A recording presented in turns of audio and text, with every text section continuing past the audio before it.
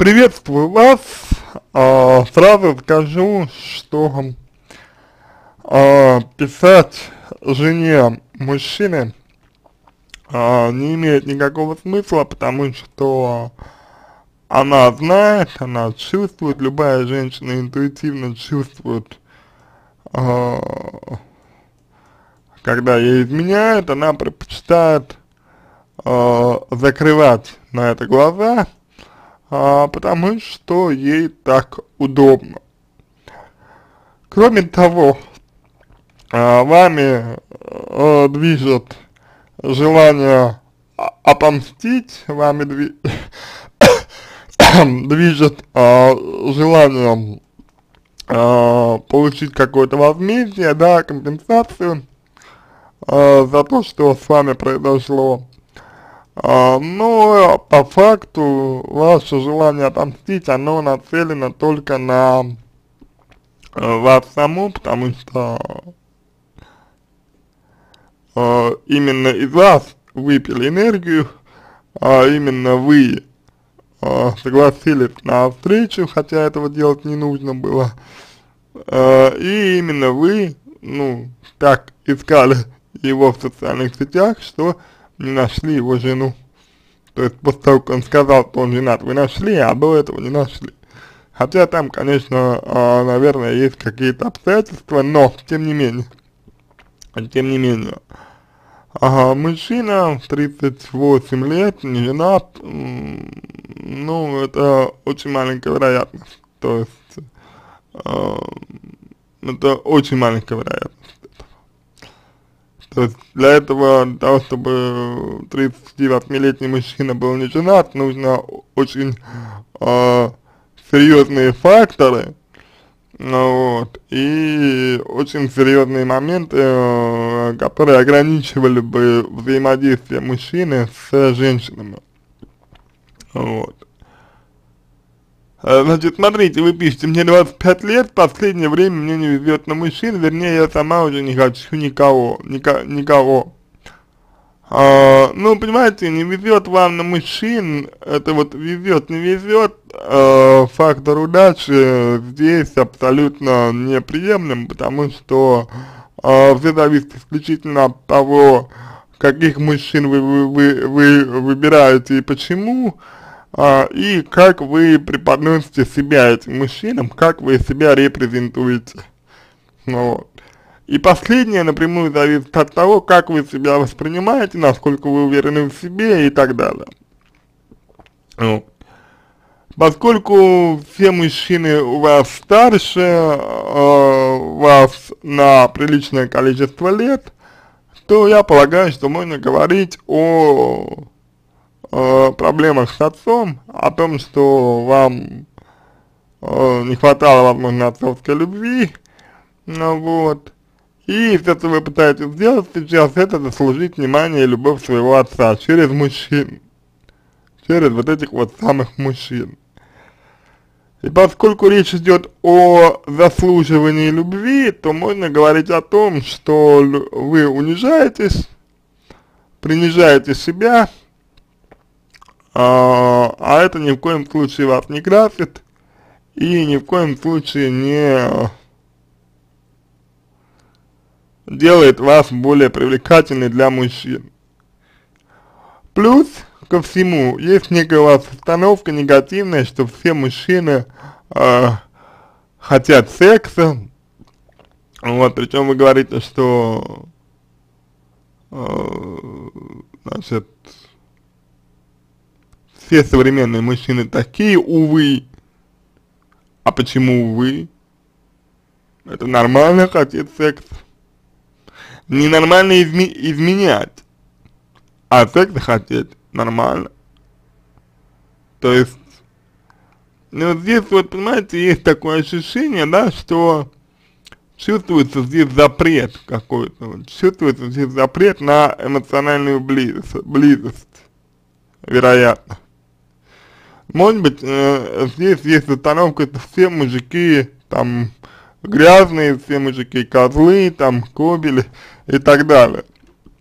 Вот. Имеется в виду все мужики вашего возраста. вы выбираете постарше в надежде на то, что они не такие. Ну, собственно, э, как ваш отец, например.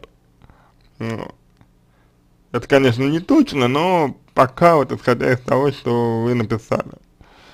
То есть, э, не не везет вам на мужчин, а вы определенным образом выстраиваете с ними свое поведение. Как, нужно разбирать. Какая у вас женская модель, нужно разбирать. Какого мужчину видите рядом с собой, нужно разбирать. Эм, что вы делаете не так в отношениях, также нужно разбирать. Далее. Э, расстались э, после долгих э, мучительных отношений на протяжении пяти лет с мужчиной намного старше меня. Э, ну вот видите, да, то есть чем обусловлен выбор такого мужчины? Э, чем обусловлено то, что вы терпели на протяжении долгого времени мучения от отношений? Вы говорите, первое время хотела, надеялась встретить свою настоящую любовь. А зачем? Почему хотели встретить любовь? Откуда такая потребность любви-то у вас? Не поэтому ли вы выбираете мужчин постарше, потому что вы нуждаетесь в любви? Что есть настоящая любовь? То есть у вас есть некая идеализация любви на самом деле. Потому что настоящей любви не бывает. Бывает просто любовь. И она э, встречается довольно чаще, э, довольно чаще, чем вы думаете. Гораздо чаще, чем вы думаете. Вот. Но вот то, что вы говорите, первое время хотела и надеялась встретить свою настоящую любовь, это момент. Зачем? Тем более первое время после расставания. То есть Тут, тут не любовь искать надо. Тут нужно анализировать, почему вы в отношениях таких были и мучились. Понимаете? Тут выводы нужно делать, а не любовь искать. Замену-то, по сути. Ну вот вы и нашли замену. Тот же самый мужчина. А, в кафе познакомилась с мужчиной из всей компании, почему-то выделила именно его. Ну потому что он похож на чем-то, видимо, на образ отца. То есть не на самого отца, а на образ отца, как вы его видите. Образ. Некий такой идеализированный эм, оттенок, идеализированная форма отца. Кстати, именно этой идеализированной формой, форме вы хотите мстить. Сейчас. Но это, понимаете, это идеализированная форма. Мужчина, он другой. Реального человека вы не видите ни в первом, ни во втором случае. Вы видите только идеализированный образ. Ну, скорее всего. Дальше он за мной ухаживал, вел себя культурно, что мне очень льстило. Ну, то есть, вот понимаете, да, вам нравится, когда за вами ухаживают, э, э, ведут себя культурно, то есть вот такое все правильное, такое все, все рафинированное, да, вот так вот вы считаете правиль, э, правильно, это вам льстит. А грубое поведение, более эмоционально искреннее поведение, почему вам не льстит? Почему вам льстит вот это фальш, грубо говоря, да? То есть ухаживание и культурное поведение. И вам это льстит. Оно ничего не значит. Оно ничего не значит. Это элементарная вежливость. И мужчина, если он ведет себя с женщиной вежливо вот так, это говорит о том, что он ее ни во что не ставит эмоционально. Она эмоционально для него никто. Можно вести себя по-разному, да, культурно. То есть можно вести себя культурно, но при этом высказывать симпатию, да, можно там э, как-то чувственно это делать, все. Но вы это, вы говорите, что он просто за мной поухаживал вел себя культурно, и, и вам уже это льстит.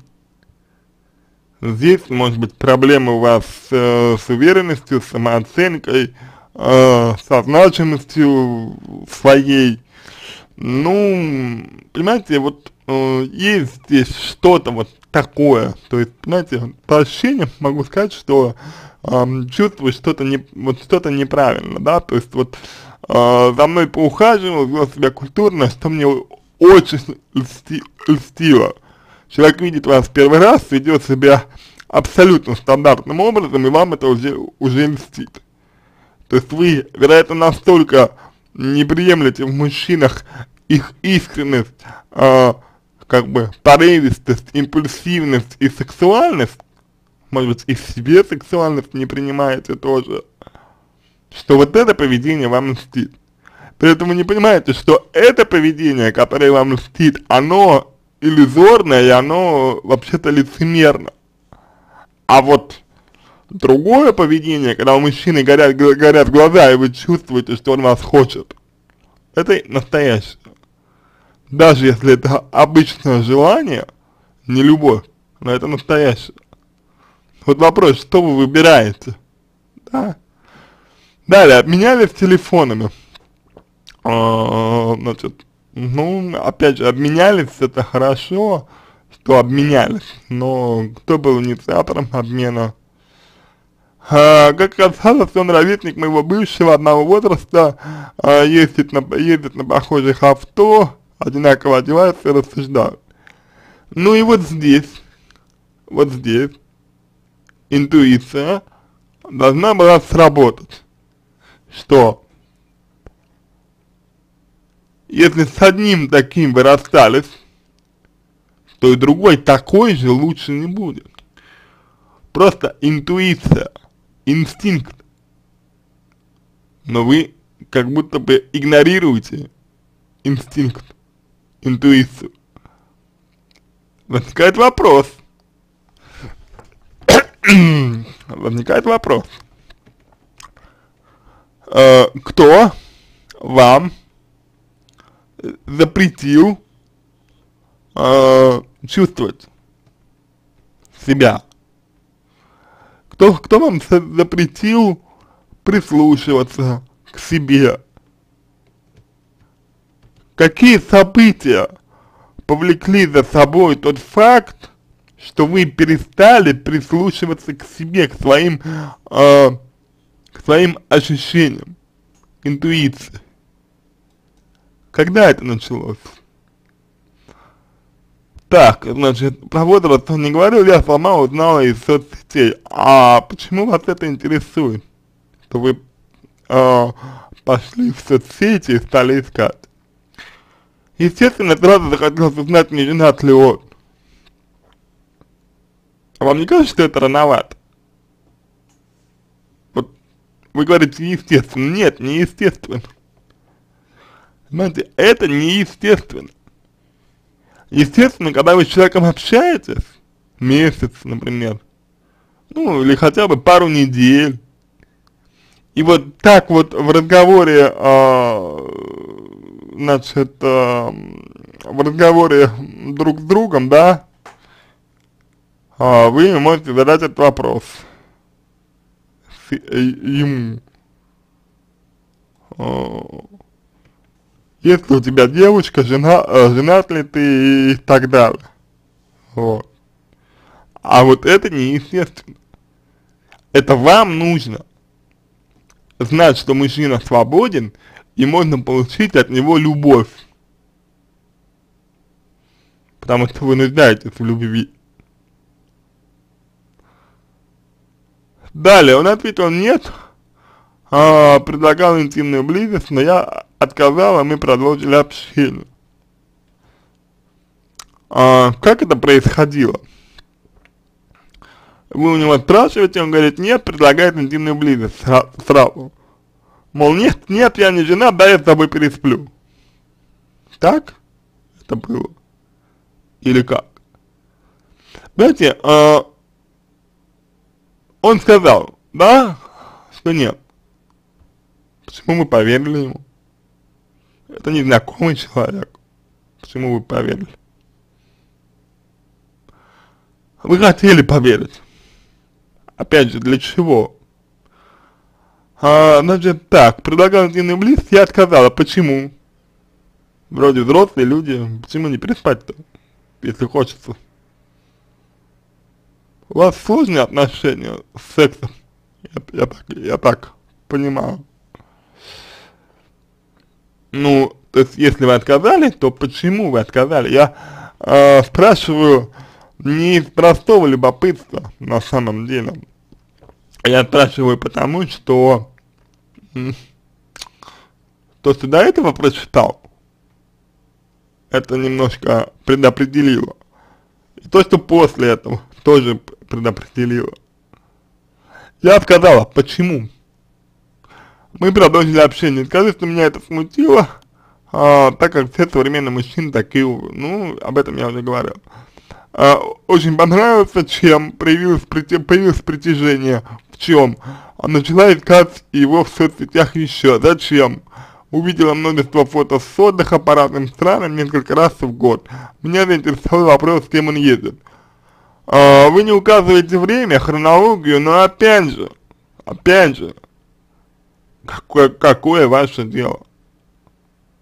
Вы не знаете его настолько, чтобы задавать ему такие вопросы. Еще. Дальше. А, оказалось, у нас есть общий а, знакомый. Так. А, я решила у него аккуратно спросить, на что он отвечает, что он не женат, ищет серьезные отношения. То есть вы здесь уже привлекаете третьих лиц выясняете про мужчин. Вы считаете это нормально в личную жизнь привлекать третьих лиц? Вот просто. Давайте здесь вот просто такой вопрос. Вы считаете нормально, что в личную жизнь привлекать третьих лиц? То есть окольными путями у кого-то узнавать о ком-то. То уже выстраивать отношения на, на недоверие. Дальше. Опять же, общий знакомый, который знакомый, вам не друг. То есть, чего вам ему верить, непонятно. Дальше, он не женат, ищет серьезные отношения. Насчет женат, не женат, а знакомый может просто не знать, или тот его тоже может обманывать, мужчина. А по поводу серьезных отношений, а, а что такое серьезные отношения? для кого, для кого какие отношения являются серьезными. Было еще несколько свиданий на протяжении трех недель, никогда ему не звонила, в чем была моя ошибка. Почему вы считаете это ошибкой? А что, нужно было звонить? Зачем? С какой целью позвонить нужно было? Соответствовало ли то, что вы ему не звонили, вашей э, модели женского поведения, если да, то это не ошибка. В любом случае, в чем ошибка была? Наверное, в том, что так вы узнали бы, что у него жена, не узнали бы, потому что он трубку не брал бы, если был не один. Так, ну вот тут вы говорите, что э, было три свидания, еще несколько свиданий на протяжении трех недель. То есть я так понимаю, что а, три недели вы его э, знали, знали в общей сложности, пока что.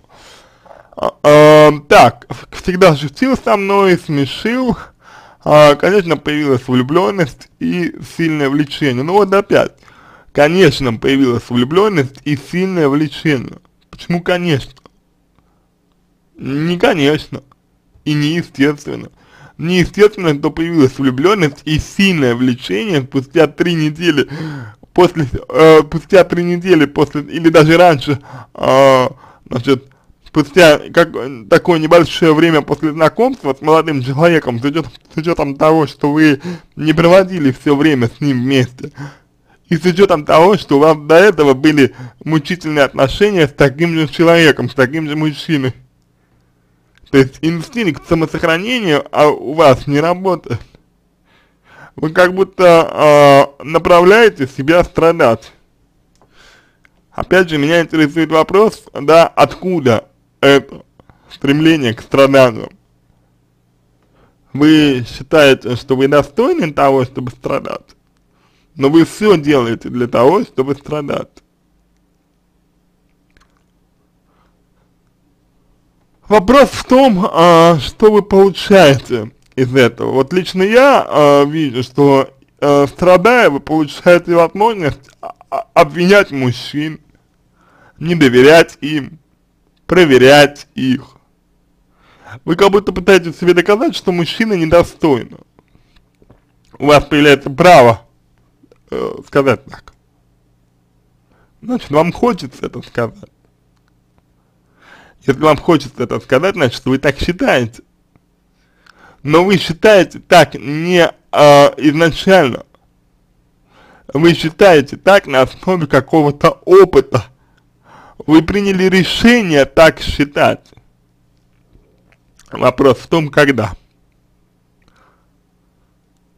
Далее, э, значит, была интимная близость. Так, ну, э, что изменилось? Вот тогда вы отказали, через три недели вы согласились. Что изменилось? У вас появилась влюбленность и сильное влечение? Это не повод. У него изменилось что-нибудь?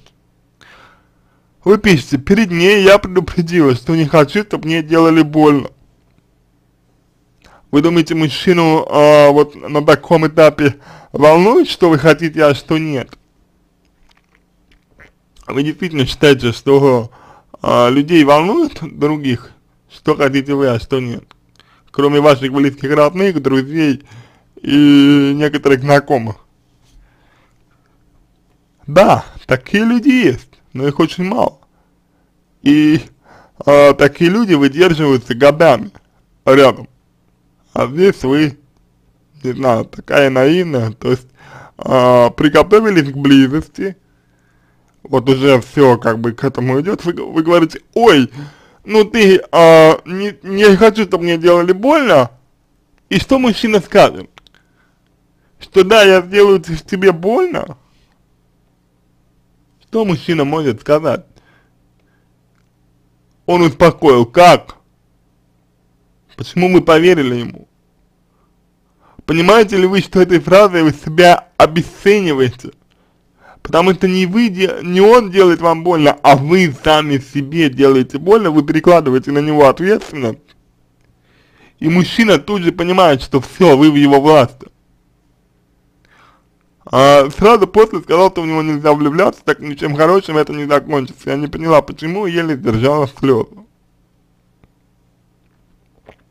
А слезы-то от чего были? От того, что вы хотели любви и ее не получили? Или от того, что вы вступили в близость, в близость, а он говорит, что в него нельзя влюбляться? Или может быть от того, что а, ваша влюбленность обязательно должна иметь последствия каких-то? А она не имеет эти последствия. Из-за чего слезы, чего ожидали? Насколько были оправданы ожидания ваши? Понимаете? То есть вы не поняли почему, а должны были понять. Мужчина, мужчина здесь устанавливает границы, что меня нельзя влюбляться, я тебя не, как бы не подпущу к себе уже понятно, что он что-то скрывает. Уже понятно, что он не хочет близких отношений с вами. По дороге домой целовал мои руки, говорил, что все будет ок, что это значит. После этого была психологическая травма, и я решила поехать с подругой на, на неделю в отпуск. Тут непонятно, что это психологическая травма, из-за чего, почему меня обратились к психологу в этот момент, а решили убежать. Он сам вызвался меня привезти, заботливо складывал наши чемоданы, волновался, как прошла поездка, решил встретиться еще. И после того, как мы смеялись, веселились, надашил друг, он учил меня плавать, э, говорил, нравлюсь, я ему и снова после интимной близости, э, он сказал, что у него, он женат, у него есть ребенок. Ну, понимаете, вас предупредили первый раз, вы не услышали, теперь вам уже открыто говорят. То есть я, опять же, хотел бы знать, чего вы ожидали здесь. А до меня, до, него, до меня у него было куча девушек, но до всеми было разное. Он сказал, что мои сопли и слезы ему не нужны, лучше в него не влюбляться. То есть, по сути, повторил то же самое, только уже более откровенно. А до этого он говорил, как я прекрасно, ну и что, одно другому не мешает, как сильно нравлюсь, и чтобы я доверяла ему, нашла, и чтобы я доверяла ему.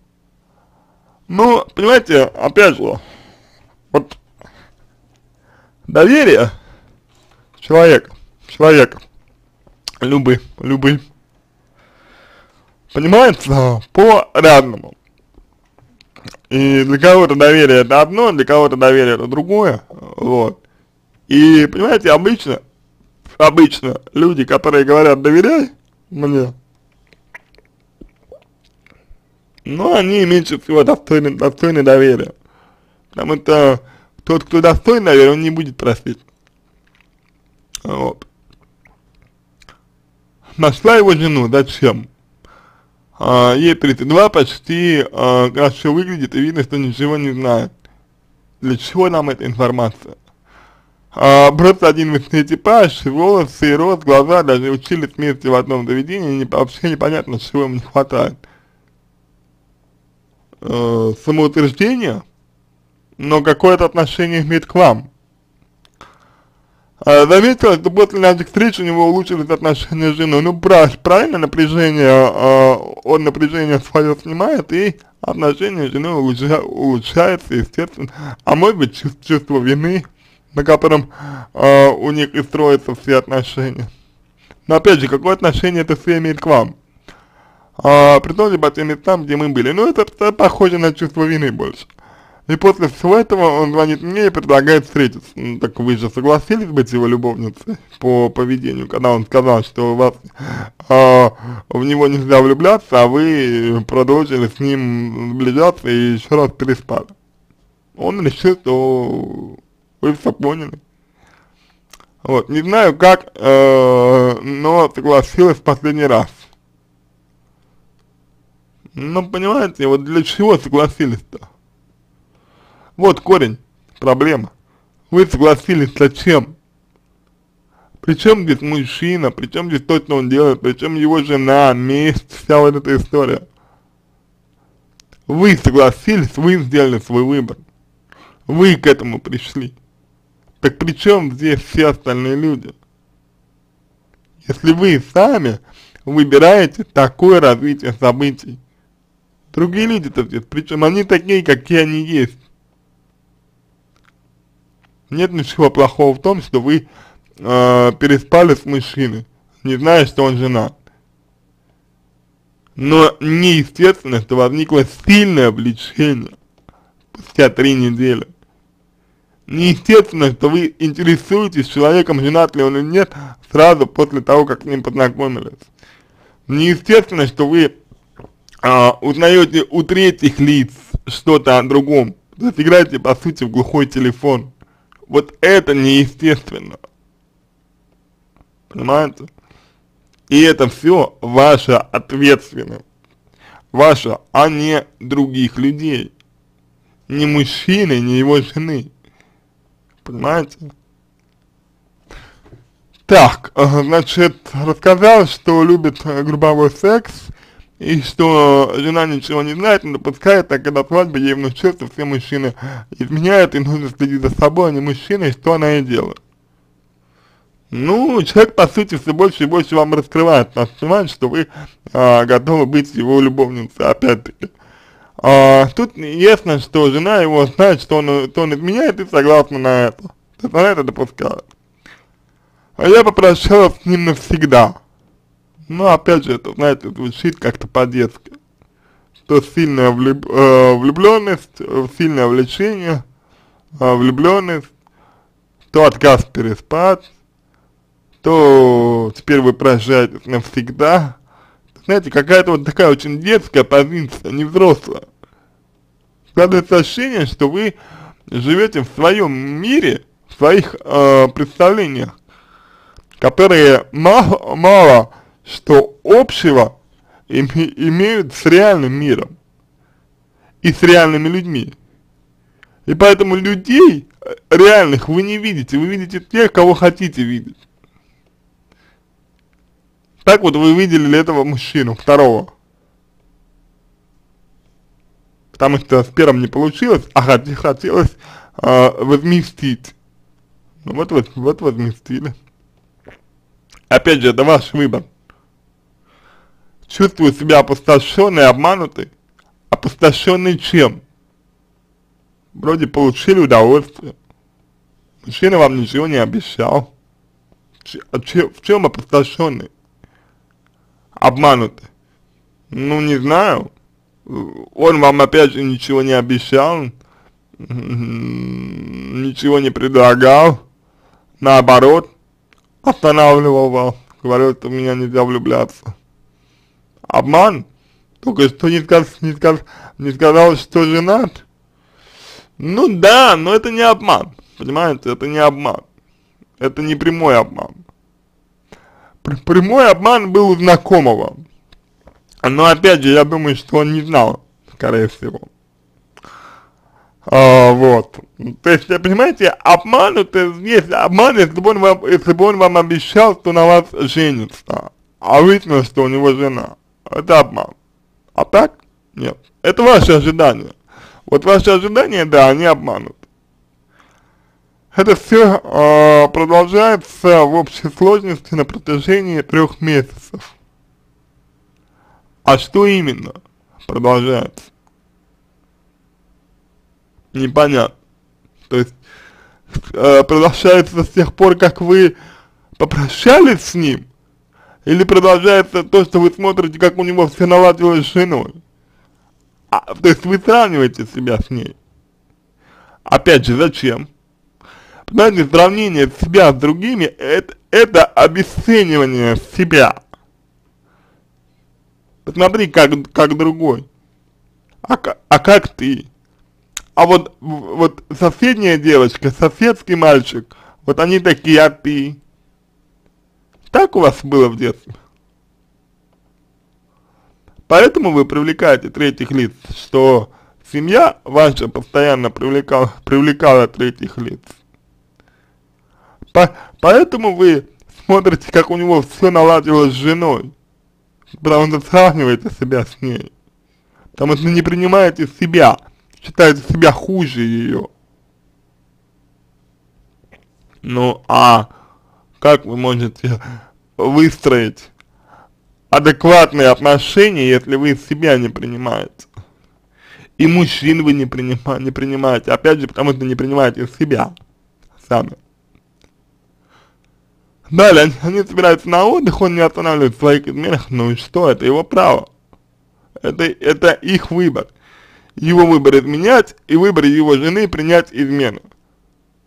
А, судя по соцсетям, он еще и жмот, особо не тратит на нее. Какое отношение это имеет к вам? А, на предыдущих фотках она не выглядит а, счастливой. Какое-то отношение к вам имеет. После наших встреч все а, наладилось. Какое прямое это отношение имеет к вам? На меня, из меня как будто выпили всю энергию. Нет, вы сами э, из себя выпустили всю энергию. Вы упорно не хотите брать на себя ответственность за то, что происходит. Понимаете? Не кто-то выпил, а вы сами. Не кто-то вас обманул, а вы себя обманули. Не кто-то вас опустошил, а, вы себя опустошили.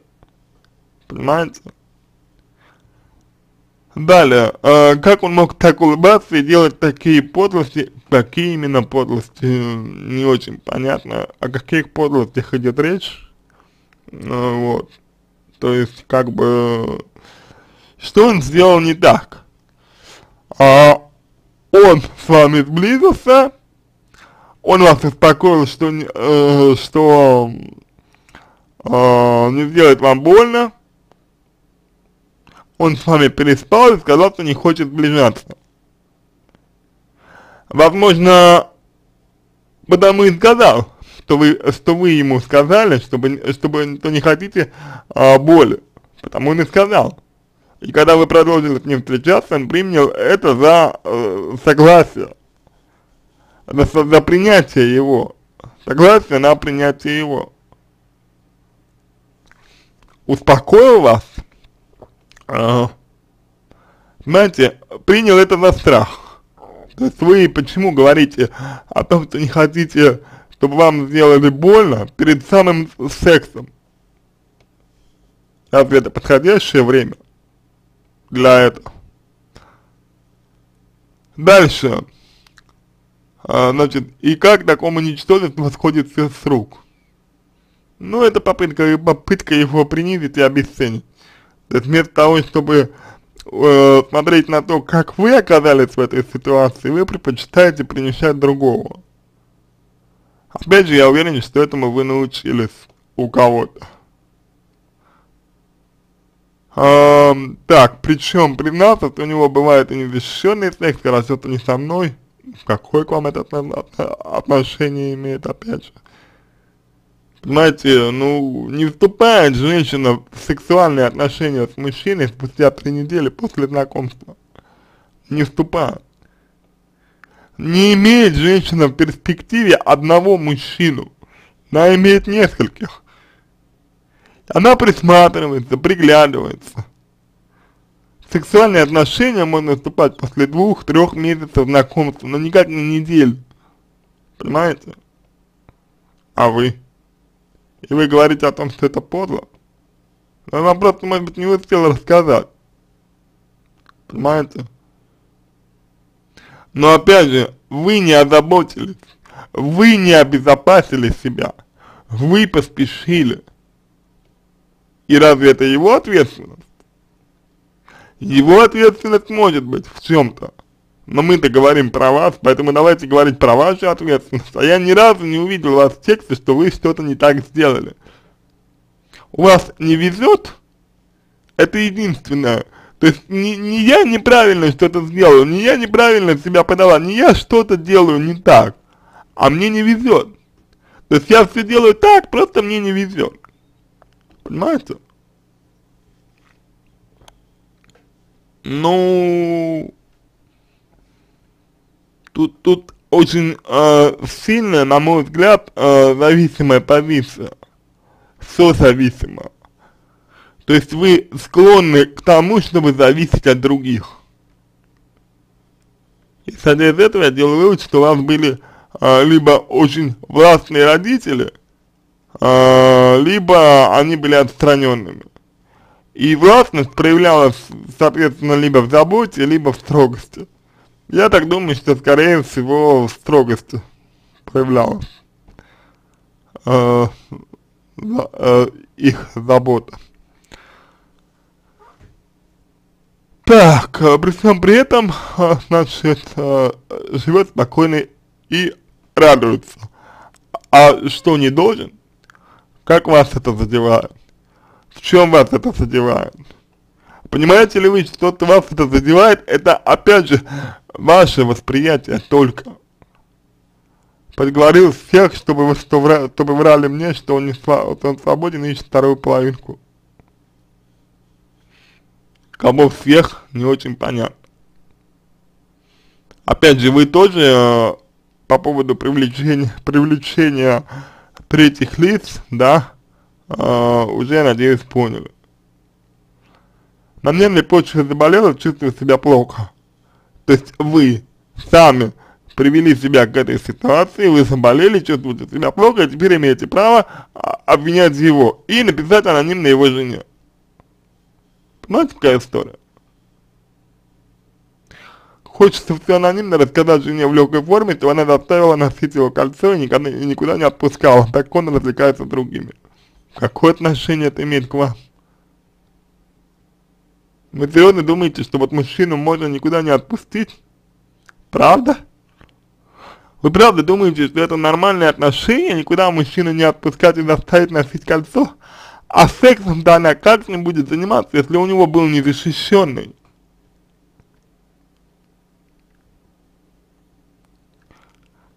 а, пусть хоть скандал ему закатит, может так он начнет на нее тратить деньги и прекратит свои мерзкие выходки. Чувствую, что мне так станет легче. Нет, вам не, вам не станет так легче, потому что а, проблема кроется в вас, а не в нем и не в ней. Понимаете? Вам хочется его принизить, вы его принизите немножко, даже если вам захочется еще, это как наркотик. И даже если он умрет, вам легче не станет. Понимаете? Потому что еще раз, а, проблема в вас, конфликт в вас, не в нем. Пусть он сам поймет масштабы его лжи, когда, а, значит, э, последний раз расставались, сказал, что у меня появился мужчина, на то он предложил обмануть его. Опять же, непонятно, э, вы говорите, пусть он э, поймет масштабы своей лжи. А вы думаете, он не понимает? Это его осознанный выбор, так себя вести.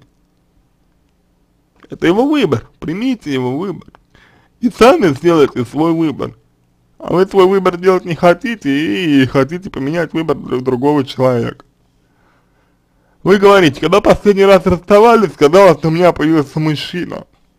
Последний раз расставались, это когда? А для чего встречались?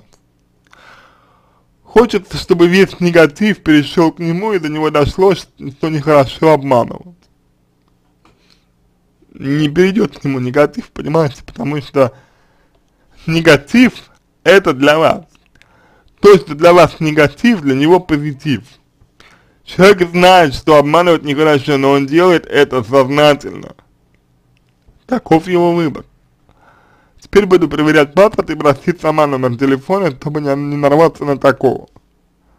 Ну, то есть вы еще больше будете не доверять мужчинам. Паспорт вам никто вначале не покажет, понимаете? Нужно просто не спешить и узнавать людей. Понимаете?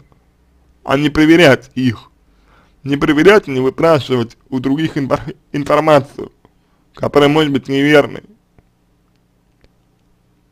У вас такие, знаете, немного паранояльные э, есть э, проблески из-за того, что вы не доверяете своим чувствам. Из-за того, что вы, э, э, ну, как бы игнорируете свои ощущения и не анализируете.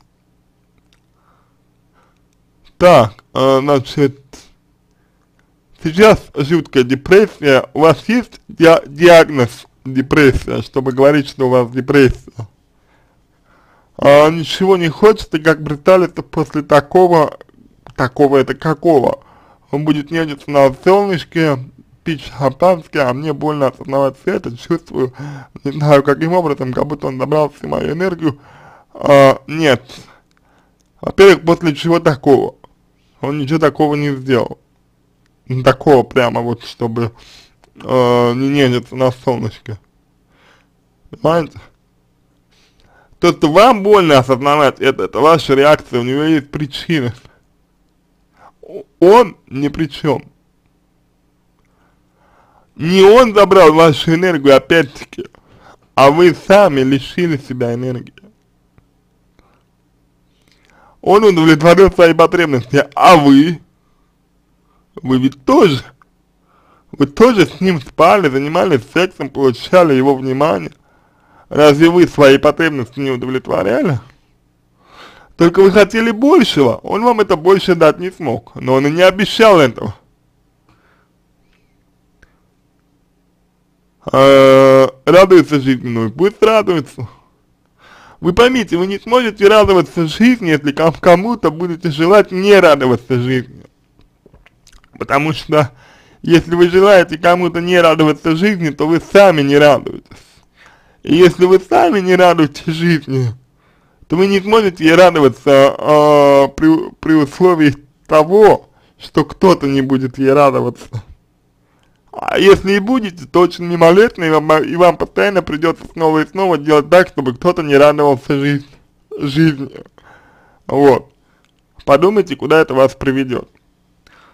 Жена его за ним ухаживает, видно, что у них все отлично, а она даже не понимает это точно. Ну, то есть вы сейчас хотите играть такого спасателя, знаете, то есть вы сейчас жертва, и вы, и вы хотите выйти из состояния жертвы кого-то спасти. На самом деле это иллюзия. То есть, по сути, и спасатель, и жертва, они оба жер жертвы, пока не контролируют то, что происходит. Он умеет заговаривать зубы. Но мало ли кто что умеет. А поддаются-то люди почему? Вы считаете, что, а вот знаете, как с рекламой, да? Вот рекламируют что-то, вы идете покупаете, говорите, «А, вот, они мне заговорили зубы. Но вы же сами пошли, вас никто не заставлял. И вы сами захотели с ним близость, он же вас не принуждал.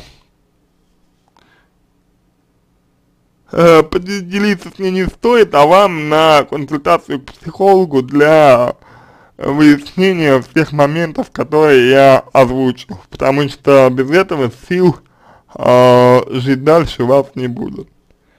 Пока вы не контролируете свою жизнь, пока вы склонны к зависимости, и пока вы сами по себе радоваться вот э, без мужчин не можете, пока вы э, отрицаете себя, отрицаете свои достоинства, сравниваете себя с другими и э, считаете, что это неправильно, что мужчины хотят секса, хотя это здоровая реакция, вы не сможете жить дальше. Потому что в 20 лет вы вступили в одни отношения, вы мучились, они были созависимы, сейчас вы вступили в другие отношения и тоже мучаетесь. Это значит, что есть поведение, сценарное поведение, которое идет из детства, и с ним нужно работать. Сейчас я рекомендую вам э, как можно больше вставать, как можно больше получать новых впечатлений, как можно больше общаться с новыми людьми, знакомиться с мужчинами без секса, без э, намерений серьезных, просто знакомиться с людьми и общаться с ними. Вот.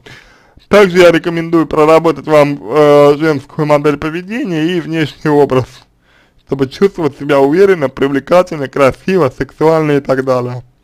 Вот. А, на этом все. Я надеюсь, что помог вам. Если у вас остались вопросы, пишите в личку, буду рад помочь. Если вам понравился мой ответ, буду благодарен, если вы сделаете его лучшим. Я желаю вам всего самого доброго и удачи.